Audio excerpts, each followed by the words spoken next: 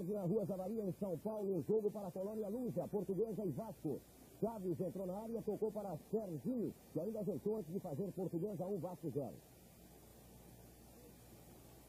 Corner da direita, Serginho cabeceou, o goleiro Reginaldo se atrapalhou e acabou soltando dentro do gol. Portuguesa 2, Vasco 0, placar final.